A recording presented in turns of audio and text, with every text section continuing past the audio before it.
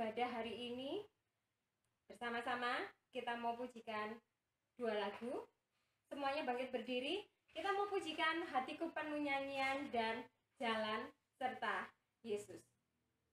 Semua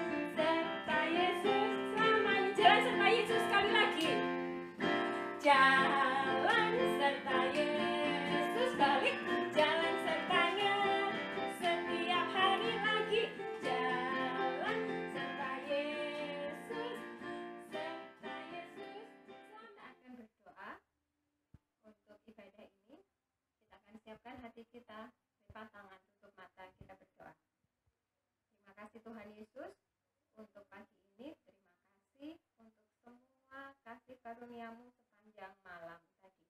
Kami akan memulai ibadah kami Tuhan.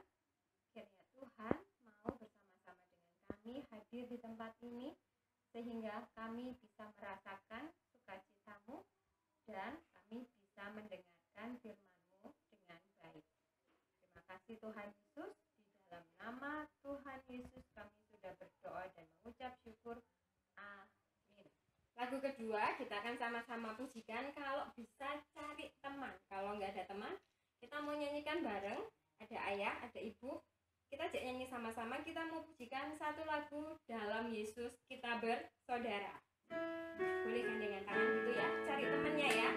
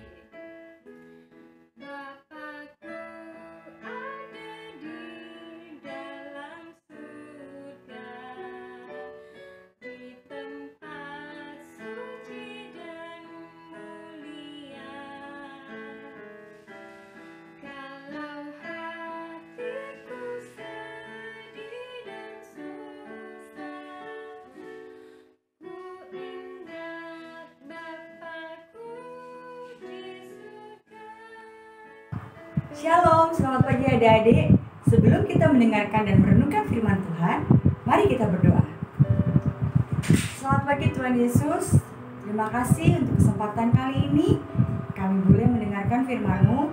Kiranya Tuhan sertai kami, sehingga kami boleh mengerti apa yang menjadi kehendak-Mu dalam kehidupan kami. Buka telinga kami dan hati kami Tuhan, sehingga firman-Mu boleh jatuh di hati kami dan bertumbuh subur dalam kehidupan kami. Terima kasih Tuhan Yesus, pimpin kami dari awal pertengahan hingga akhirnya. Haleluya, amin. Nah, sekarang kita baca sama-sama ya. Kita ambil Alkitabnya, kita buka di Perjanjian Baru di 1 Korintus 8 ayat 1 sampai 13. Kita baca sama-sama ya. Agak panjang memang, tapi kita baca sama-sama yuk. 1 Korintus 8 ayat 1 sampai 13 tentang persembahan berhala. Tentang daging persembahan berhala kita tahu, kita semua mempunyai pengetahuan. Pengetahuan yang demikian membuat orang menjadi sombong, tetapi kasih membangun. Jika ada seorang menyangka bahwa ia mempunyai sesuatu pengetahuan, maka ia belum juga mencapai pengetahuan sebagaimana yang harus dicapainya. Tetapi orang yang mengasihi Allah, ia dikenal oleh Allah. Tentang hal makan daging, persembahan berhala kita tahu, tidak ada berhala di dunia dan tidak ada Allah lain daripada Allah yang Esa.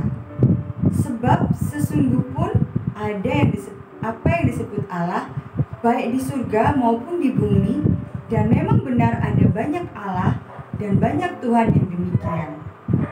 Namun bagi kita hanya ada satu Allah saja, yaitu Bapa yang daripadanya berasal dari segala sesuatu dan yang untuk dia kita hidup. Dan satu Tuhan saja, yaitu Yesus Kristus, yang olehnya segala sesuatu telah dijadikan dan yang karena dia kita hidup. Tetapi bukan semua orang yang mempunyai pengetahuan itu. Ada orang yang karena masih terus terikat pada berhala-berhala, makan daging itu sebagai daging persembahan berhala dan oleh karena hati nurani mereka lemah, hati nurani mereka itu dinodai olehnya. Makanan tidak membawa kita lebih dekat kepada Allah. Kita tidak rugi apa-apa kalau tidak kita makan dan kita tidak untung apa-apa kalau kita makan. Tetapi jagalah supaya kebebasanmu ini menjadi batu san jangan menjadi batu sandungan bagi mereka yang lemah. Karena apabila orang melihat engkau yang mempunyai pengetahuan sedang duduk makan di dalam kuil berhala, bukankah orang yang lemah hati nuraninya itu dikuatkan oleh makan daging persembahan berhala?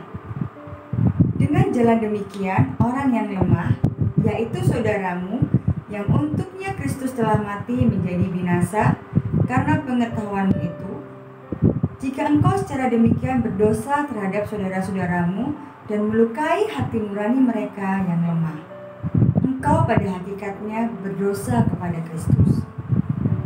Karena itu, apabila makanan menjadi batu sandungan bagi saudara-saudaraku, aku untuk selama-lamanya tidak akan mau makan daging lagi, supaya aku jangan menjadi batu sandungan bagi saudaraku. Nah, sebelum kakak mau cerita nih, kira-kira masih ada yang ingat nggak ceritanya minggu lalu tentang apa? Iya, tentang cara jemaat mula-mula. Nah, sekarang kita tinggal meneruskan ya adik-adik. Hmm, hari Minggu. Hah? Hmm, ada yang tahu nggak kira-kira ini gambar apa di belakangnya kakak ini?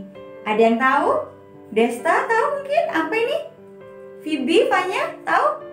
Ya, ini adalah gereja. Kira-kira gereja mana ya ini ya? Ada yang tahu nggak? Ya betul, ini gerejanya kita, GKJW Rungkut. Nah, adik-adik tahu nggak apa artinya gereja GKJW Rungkut itu? Siapa yang tahu? Nathan? Oh iya, Nathan Olo, Desta. Siapa lagi ya? Wah, kakak nggak kelihatan ini. Kira-kira tahu nggak artinya apa GKJW Rungkut ini? Iya, GKJW Rungkut ini artinya apa?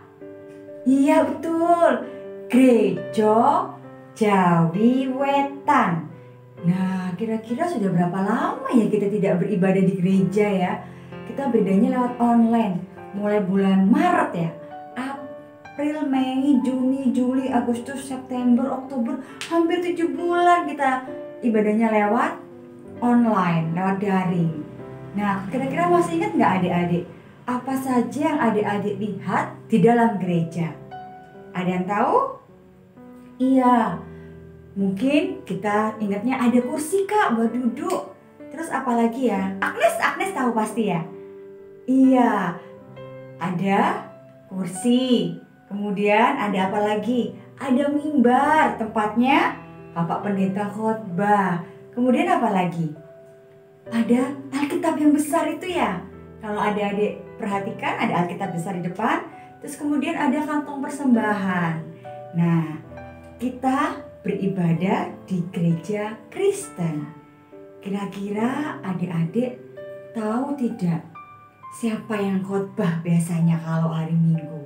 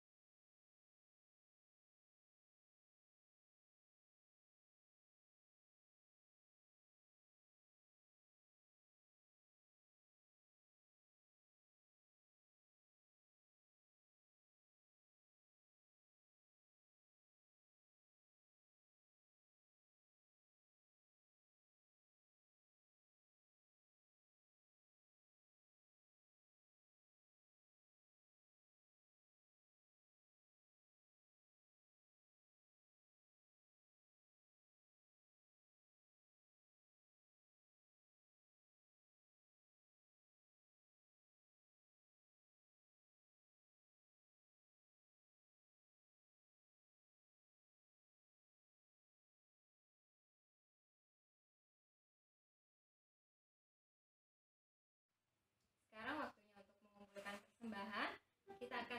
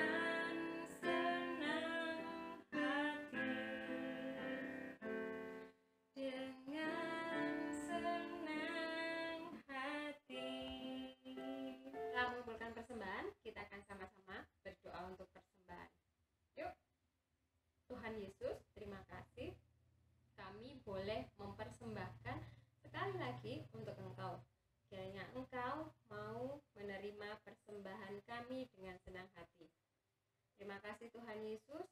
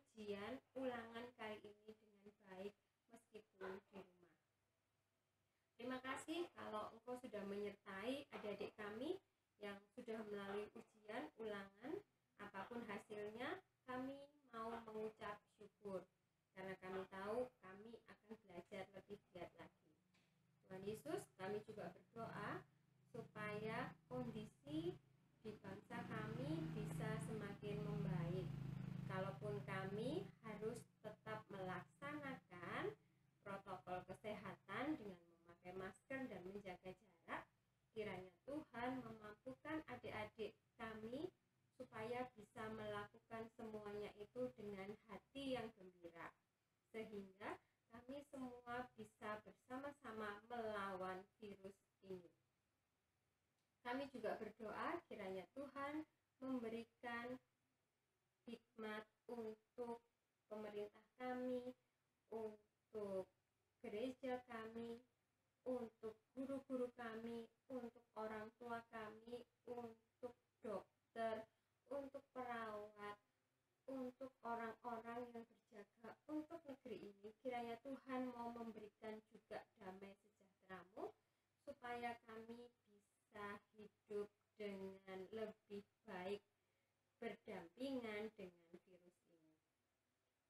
kasih Tuhan Yesus, ajar kami untuk selalu bisa mengucap syukur dalam segala hal. Untuk teman-teman kami yang masih sakit, dalam kondisi sakit, kiranya Tuhan mau memberikan kekuatan supaya bisa segera pulih dan sehat kembali. Untuk orang tua kami, kiranya Tuhan memampukan orang tua kami bisa bekerja baik di rumah maupun di pekerjaannya dengan baik. Terima kasih Tuhan Yesus. Di dalam namamu kami mau menyerahkan doa yang jauh dari sempurna ini ke dalam satu nama Tuhan Yesus yang sudah mengajar kami berdoa. Bapa kami yang ada di surga, dikuduskanlah namamu, datanglah kerajaanmu, jadilah kehendakmu di bumi seperti di surga. Berilah kami pada hari ini makanan kami yang secukupnya dan ampunilah kami akan kesalahan kami seperti kami juga mengampuni orang yang bersalah kepada kami. Dan janganlah membawa kami ke dalam pencobaan, tetapi lepaskanlah kami dari yang jahat. Karena engkaulah yang mempunyai kerajaan dan kuasa dan kemuliaan sampai selama-lamanya. Akan akhiri ibadah hari ini, tapi jangan lupa, kita semua adalah anak Tuhan meskipun kita berbeda satu dengan yang lain kita nggak ada yang sama tapi kita adalah anak Tuhan anak Raja kita akan menyanyikan satu lagu aku anak Raja bangkit berdiri kita mau akhiri dengan semangat oke okay?